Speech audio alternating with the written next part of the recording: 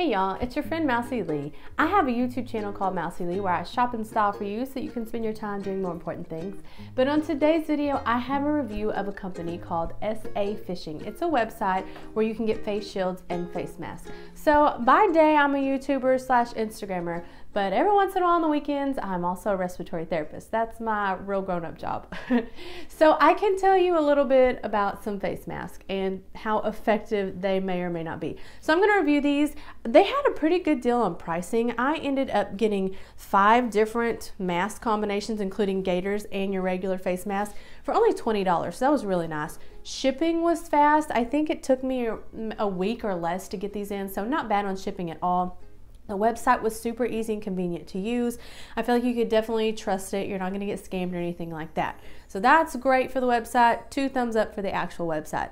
But now let's talk about the actual product. I might not give it two thumbs up. So let's talk about these gaiters first. I do like the selection they have as far as the colors and patterns they have going on. That was really nice. I like the versatility. They claim on their website that you can wear these 10 different ways. I haven't look to see what those 10 different ways are. But obviously you can wear these as a headband, a hair tie, or you can bring it up and wear it as a mask or like a gaiter.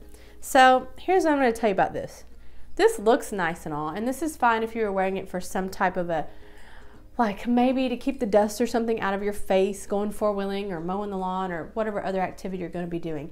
However, if you're gonna be using this solely as protection against an airborne virus, I would not recommend this. It is not going to protect you very much. This is very, very thin material. Um, and it just it's just not going to give you very good protection. I can see right through this. I don't know if you can see me, but I can see you.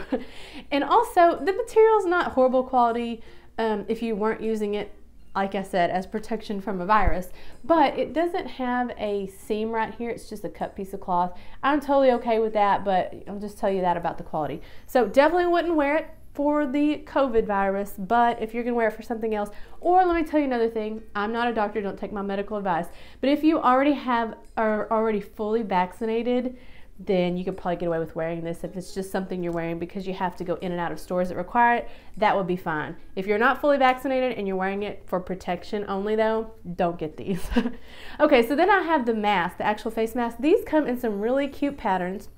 They also have the metal around the nose, which I like because you can really put it on your face to fit it a little better. And it has the adjustable ears, which I also really like.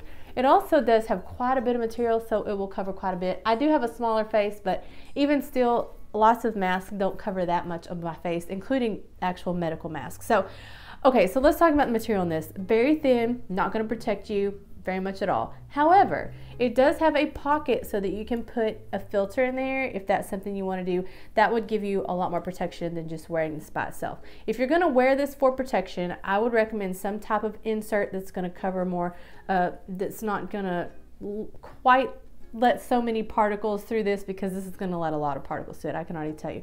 So I would recommend it for that if you're going to do an insert. If not, this is a waste of money other than just a nice fashion statement. So anyway, I hope you got some value from this. Don't forget to subscribe to this channel if you want to see more reviews on all kinds of different products and mainly websites because how many times are we scrolling through Facebook and Instagram and get an ad pop up and think that looks so cool, I'm going to order that and then you order it and you don't ever see it. Or it comes in and it's just a horrible product. It looks nothing like the website.